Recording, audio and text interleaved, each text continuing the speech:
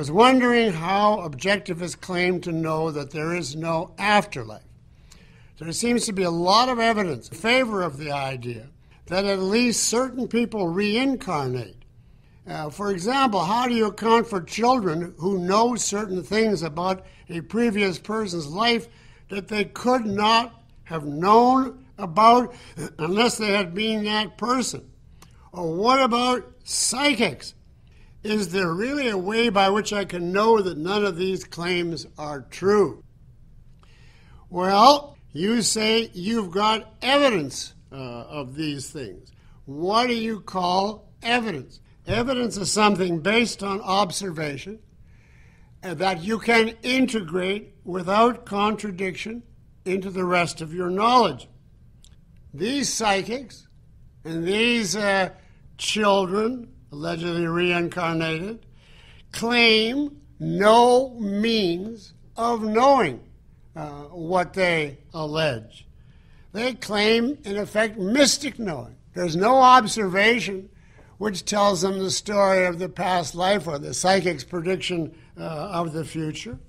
They simply say they have some arbitrary power, which is means they have to reject every principle of reason, of the senses, of logic. That is not evidence. So anybody who makes claims like that has already rejected the whole concept of evidence. But now you might ask, but what about when they're correct, the psychic predictions and uh, the children in question?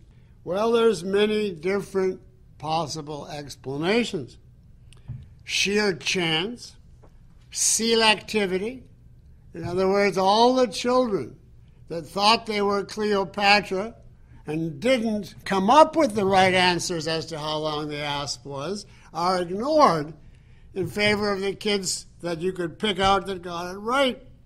It's just like your dreams. You know, people who have precognitive dreams of which horse is going to win they ignore all the times that they predicted number four and it was number five, and just the one time, you know, I dreamt of five and five came in. Then I would not at all minimize the possibility that someone is coaching these kids, perhaps uh, subliminally, or psychics having assistance in the audience. But I think that the most common without doubt, is lying.